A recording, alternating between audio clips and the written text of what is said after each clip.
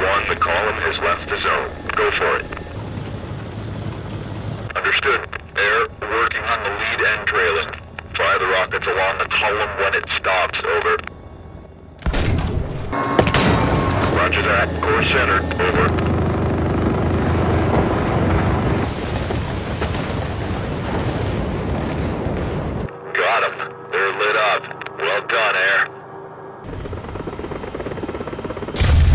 Hello, friends. We're proud to announce the arrival of update 1.91 Night Vision. It brings night vision devices and thermal sights, even more dangerous rotorcraft, and Chinese tanks and aircraft. Yep, that's right. China is the latest nation to be added to War Thunder. There are tons of exciting new vehicles and many, many bug fixes as well. Come on, let's dive in.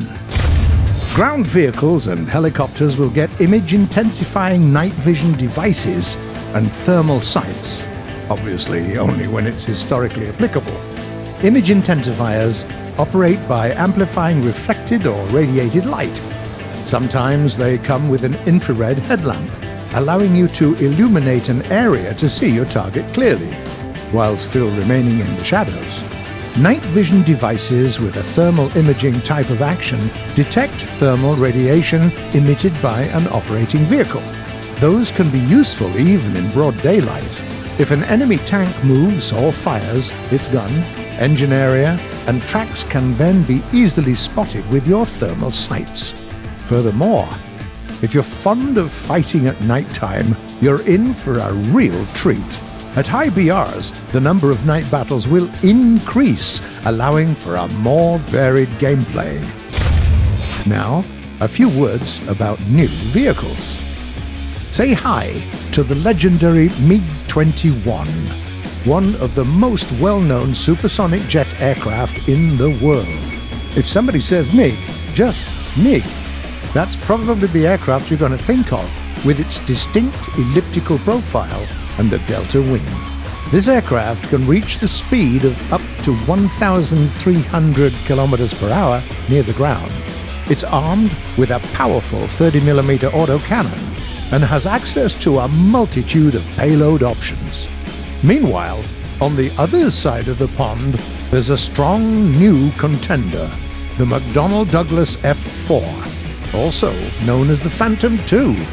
Its twin engine configuration allows to compete with the Soviet MiGs, and it has enough payload options to put a proper strike aircraft to shame. These means of destruction are at your disposal. Just look at all that splendor. Another interesting newcomer is the Eurocopter Tiger, which came to being through a joint Franco German development project. It's a modern attack helicopter that has access to a wide variety of air to surface and air to air missiles. It's outfitted with bleeding edge avionics and armed with a quick firing 30mm cannon. Furthermore, with its excellent maneuverability and a very lean profile, it's not an easy target to take down.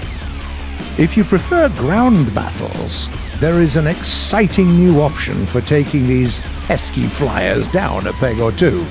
Meet the SIDAM 25 Mistral, a new Italian SPAA system. In addition to four 25mm Oerlikons, it is also equipped with Mistral missiles, an excellent fire and forget type weapon. Its passive infrared homing head allows you to destroy targets of a distance of up to 5 kilometers. There are also really big ships.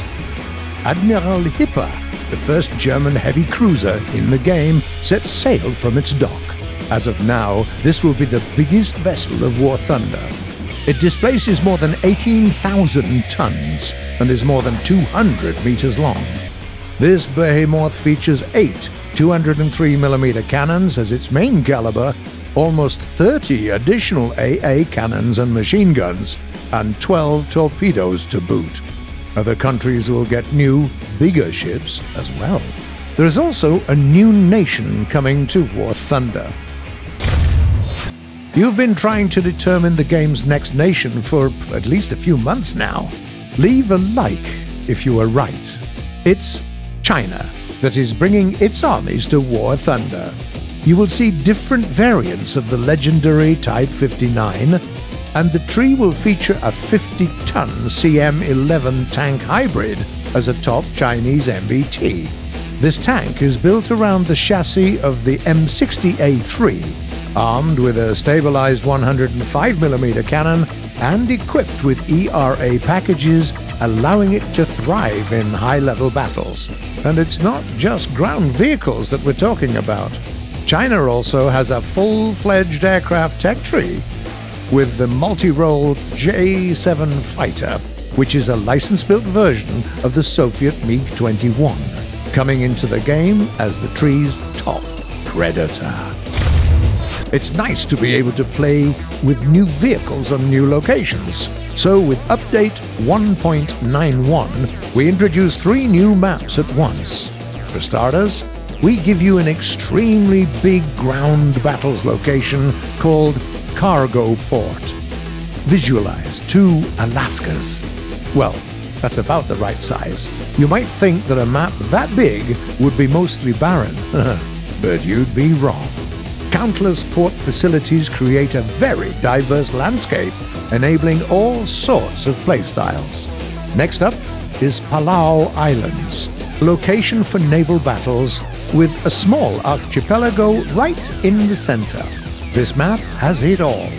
Big vessels have all the room they need for long-range duels. All the while, more agile torpedo boats and destroyers get a labyrinth of islands to play in. Finally, there is Japanese Port, yet another naval location. Tactically speaking, it's almost symmetrical, with smaller vessels fighting for the northern cap point in the bay, the center zone surrounded by islands, and the third zone, which is the furthest from the shore, forcing you to fight in the open. Even with all that sea action, we're pretty sure that it'd be really hard not to notice the beauty of that shore, though with all these sakura trees in full bloom. We also implemented a feature that you requested under nearly every shooting range. The game now has a map filtering tool, allowing you to mark the maps you don't like. If the majority of players from the matching queue have the same mission or location marked as unwanted, they will get reduced chances of getting a game on that map. Furthermore, players with premium accounts can completely remove specific missions or locations from rotation. Obviously, that's just a part of a long list of changes that Update 1.91 brings to the game. The full list can be found at our official site. We're also going to discuss many new features and vehicles in the upcoming videos on this very channel, so stay tuned. See you in battle then.